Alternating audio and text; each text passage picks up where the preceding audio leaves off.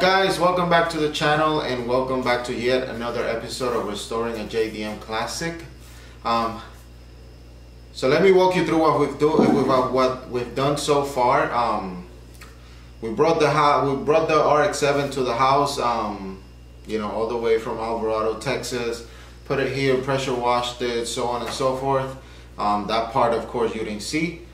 I did uh, we did remove the engine. Um, we did that video that it was a complete failure because I don't know five minutes into the um, taking off the engine the camera died so and I didn't pay attention. I was just focused on removing the engine.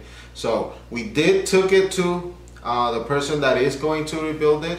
Um, it's gonna get the best of the best basically. That engine is gonna get it. We're gonna try to keep it the original 12A um, we're gonna do and I'll and I'll walk you through the engine build later on.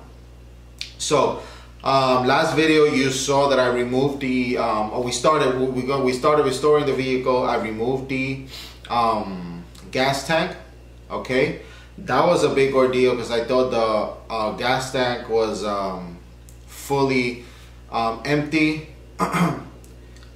It comes out it you know it comes to be that that thing had easily, um, you know, five pounds of debris, rust, and all that. I thought I could um, restore that in that that uh, that fuel tank.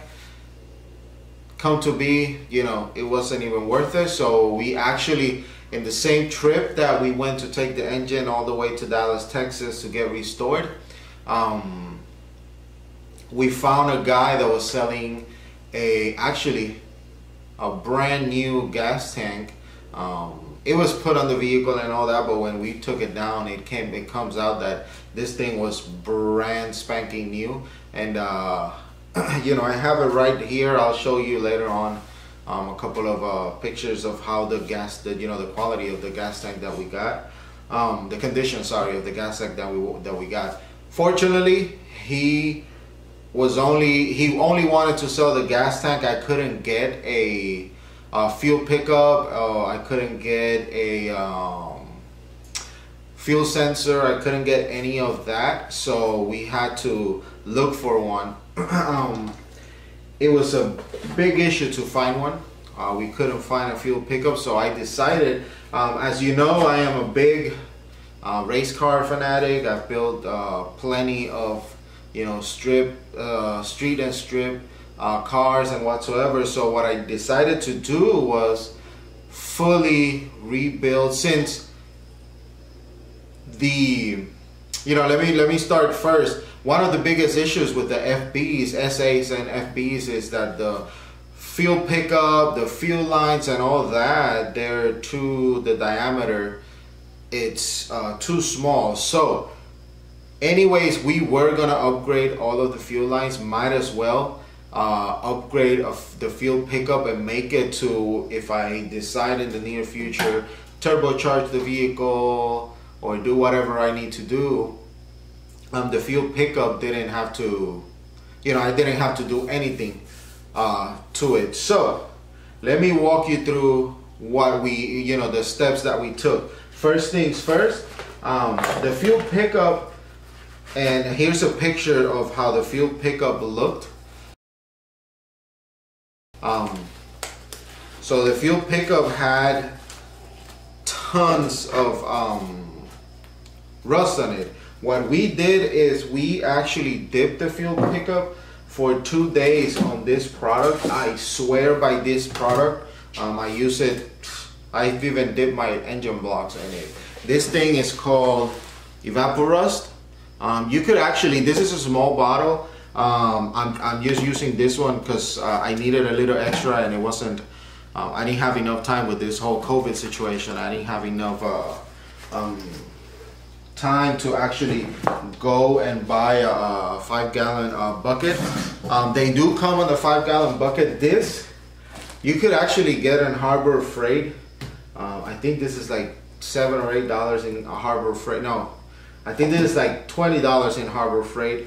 You could actually get a five gallon pail, a five gallon bucket on Northern Tools or you could order it online. But if you do it in, with Northern Tools, they'll ship it to the store for free and you could just pick it up. And it's like $68 if you remember or something like that. So it works wonders. Like I said, you've seen the picture. Let me show it again of how this looked uh, before. And this is how it looks after two days of, uh, uh, no, not two days, like 24 hours of being dipped in it, uh, in the, in the Evapo-Rust. I have someone around here. So, this went from this to this.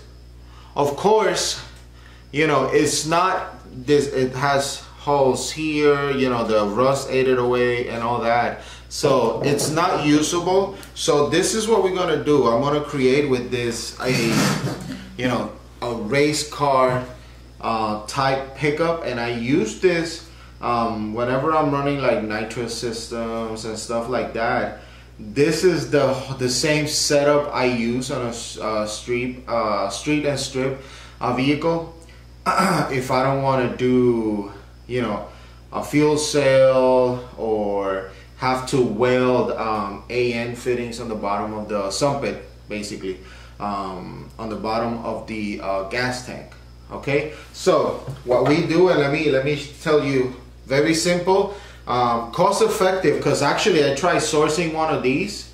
Um, Apex Rotary, um, they don't have it. Racing Beat doesn't have it. Um, I tried Pep Boys Home, um, Pep Boys, also you know any, any other uh, O'Reilly's, and they don't have it. Um, so I tried a couple of aftermarket places that sell rotary parts and they were wanting about $150 for one of these which uh, it, I called Mazdatrix um, you know so they wanted like $150 for one of these and still even if you uh, were to find one you're still gonna run the issue that you're gonna be running six uh, minus 6 AN lines or minus 8 AN lines and the pickup is not gonna be enough okay? So what I did is and this is a method like i said i've used this in plenty of cars.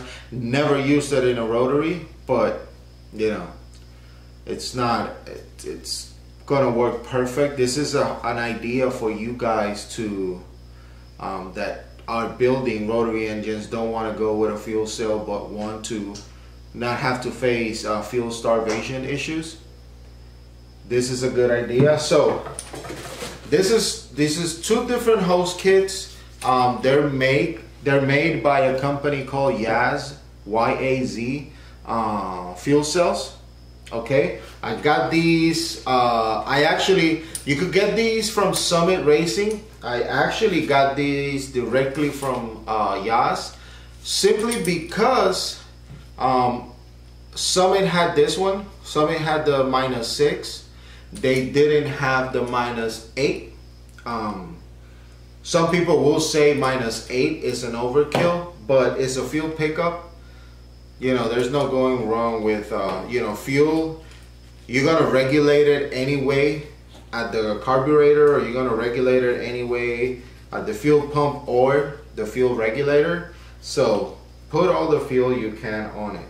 Okay, so this works very simple. Disclaimer make sure remember this is gonna go the way we're gonna build this is these are gonna go directly into the fuel tank make sure these hoses are made to be to go inside of the of the fuel tank okay?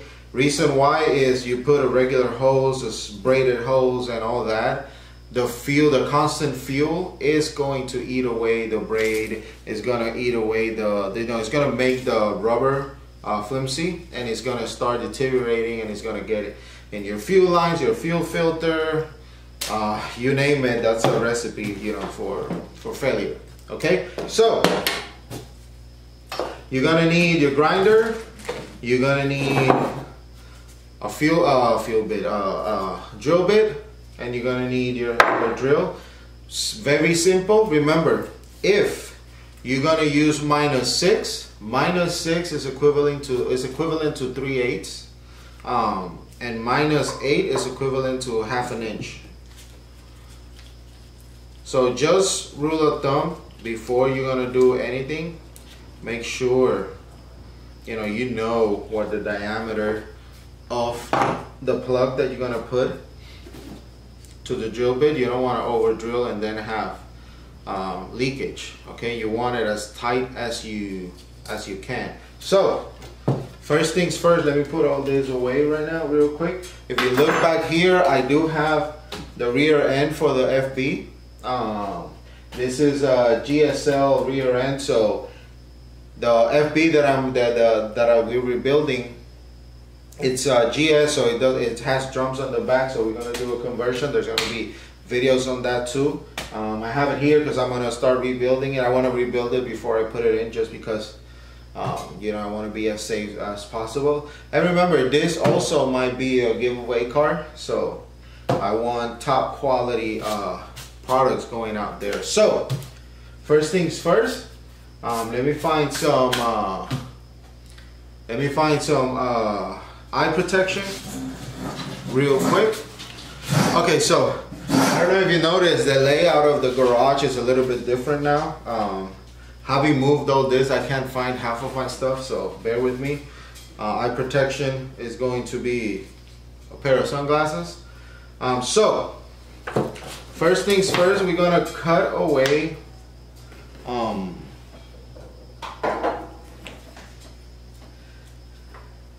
we are going to cut away the feed tubes and a lot of you guys are gonna say these are those are perfectly fine. Why don't you just put uh, piping over them or whatever? It's just a matter of uh, you know quality fuel pressure and quantity of fuel and all that uh, you know back in 1985 or back in the early 80s late 70s um, these 12As were having lots of issues with uh, fuel starvation. There's, you know, once you did header upgrade, into, uh, you know, intake, exhaust, um, so on and so forth, you were gonna be running uh, lean, and you don't, you, you know, you just don't don't want that. So we're just gonna cut these real quick.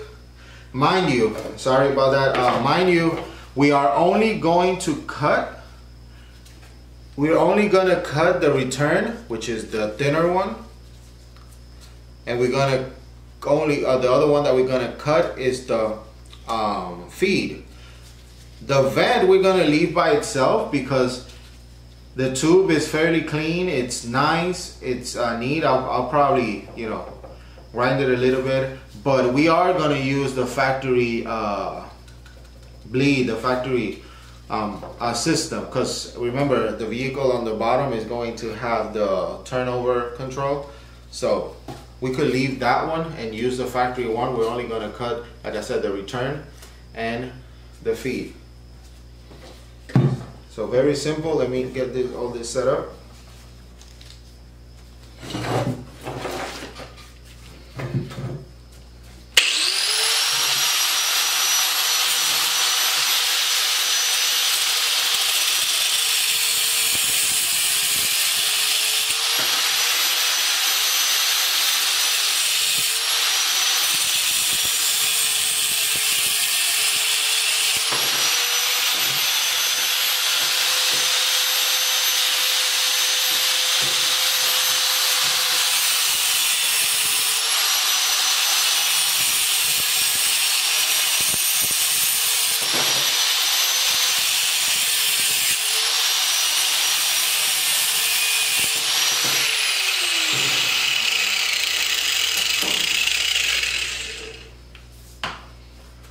So after you cut this, you know, you just, you're gonna drill them anyways, but just clean them out a little bit. Just make sure, you know, everything, you don't get any extra debris and all that. So I'm just gonna clean it out a little bit. Now make sure you've degreased this, um, you've degreased the filler uh, cap because remember this will create spark and it's spark with uh, gas that's you know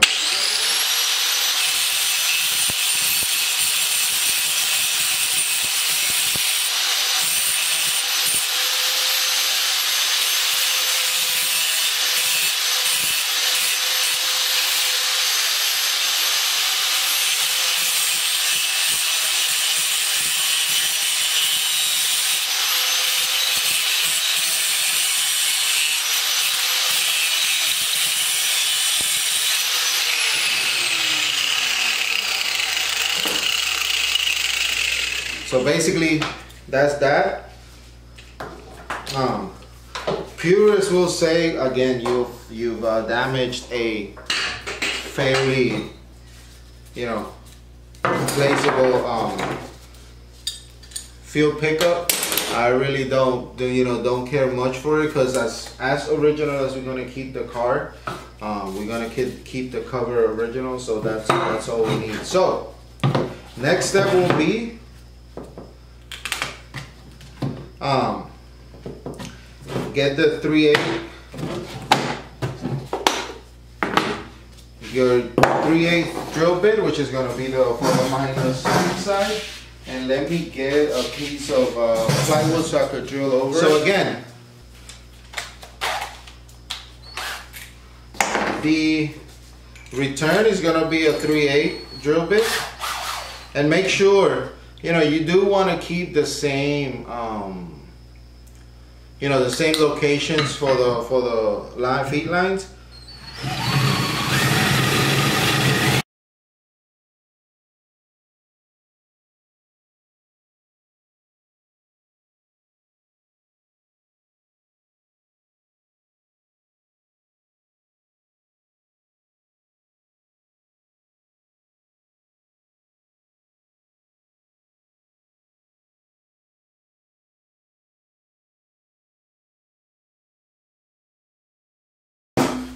Okay, so um, that took a little bit longer than what I expected simply because my drill um, ran out of battery and my second battery I had forgotten to charge. Um, but I stopped a little bit while I charged my batteries. Um, this is how the piece should look.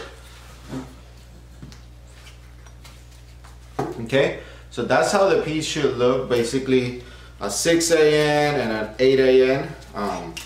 What I'm going to do now, next step, it's uh, I am going to clean the part a little bit with the brush. The brush just to take the, you know, excess, excess metal, um, you know,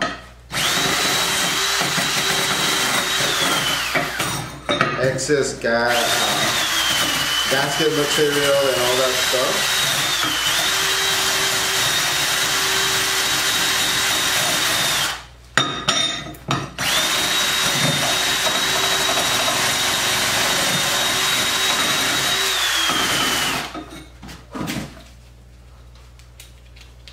you want it as uh, as clean as possible.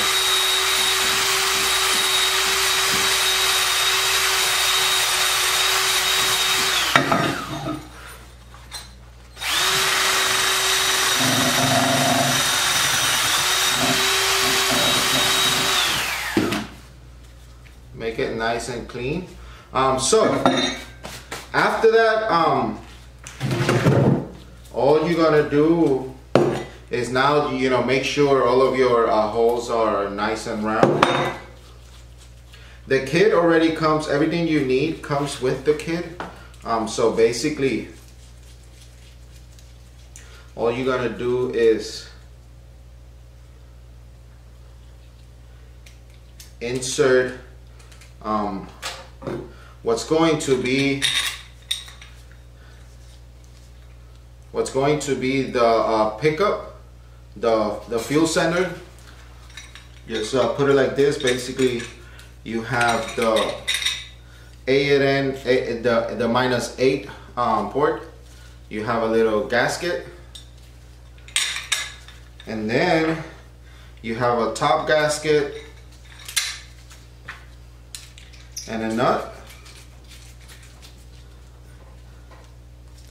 Okay, so it should look something like uh, that. And then the minus six is the same exact concept. You know, make sure everything is nice and clean.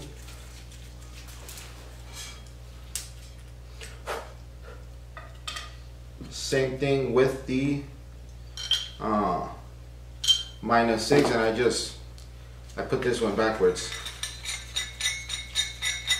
Sorry about that it's kind of late so I'm trying to rush a little bit through this video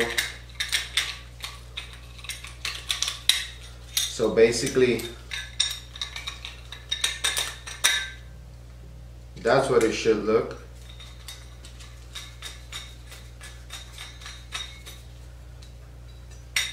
Okay, make sure it goes all the way down so you have complete seal.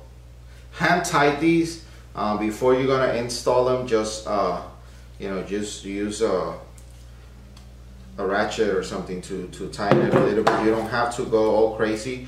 Remember, these are plastic, so they will crack if you uh, over tighten them. Same thing on this side. Now on this one, something you gotta make sure is the nuts. I uh, this one worked out perfectly, but I have case I've had had cases in which they're too close to each other, so you are not gonna be able to um you're not gonna be able to actually put them in the exact spots. I just drill whenever that happens. I'll just drill a little bit to the side and try to make the hole as parallel as possible. And after that, you know, you'll put this just like that.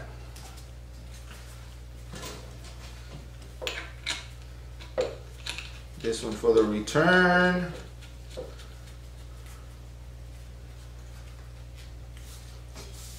And it should look something like this.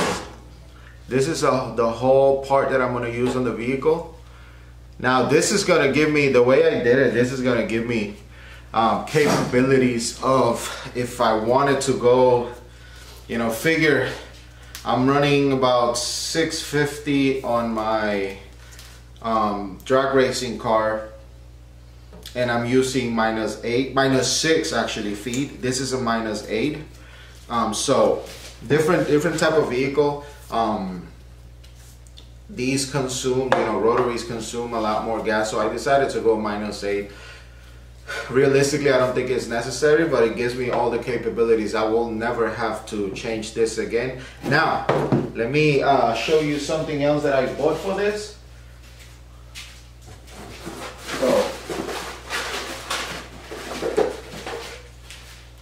just so you know you make this this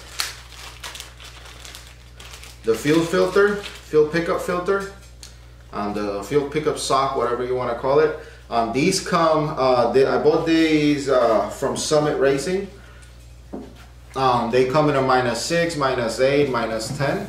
Basically, these you're gonna, uh, we're gonna cut to size, you know, whatever. Once we put them in the fuel, uh, the, in the fuel uh, tank, we're going to cut them to size, but basically, Here's your fuel sock. I'm not going to put it completely because I don't want to, you know, have it. So basically this is going to be your the fuel system, the fuel pickup system for the um, FB. Um, just to give you a little price, um, how much this costs to make. Let me get my receipt here.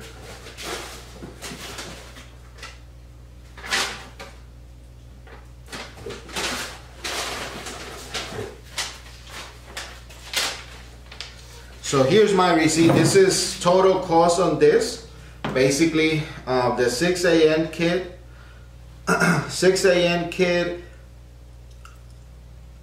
was um, $18 from from uh, like I said from uh, uh, fuel cells, and the 8AN was $32. Okay, the sock the sock, it was $12 from Summit Racing. So 32.16, that's um 48. So figure $60 to make this whole piece. Of course, I already had this. Gauge that you have a drill bit, drill, and uh, a brush. It should be a lot less money than buying an original one and um a lot more efficient. So guys, remember, just a quick tip, remember always use um, hoses that are meant to go in a fuel cell. Um, try the Jaz kit. It's uh, Jaz, uh, you can find them in Summit, like I said, Jaz uh, Fuel Cells has them. Um, the two, two kits, two holes, you know, cleaning and all that, and cutting all of the uh, excess excess uh, piping. But this is enough for a thousand horsepower on these vehicles. Okay. Any questions? Feel free to reach out. If you like what you see, guys, please subscribe. Give me a thumbs up. Subscribe, Man Media TV in YouTube, Man Media TV in Instagram. We're doing um, a lot of pictures. We have a marketing person that is starting to do a lot more stuff for you guys. So, once again, Man Media TV in YouTube, Man Media TV in Instagram. Please subscribe, give us a thumbs up, and follow the build. Remember, somebody um, is gonna end up with this car. Um, Man Media TV, YouTube, My Media TV, Instagram. Thank you guys and good night.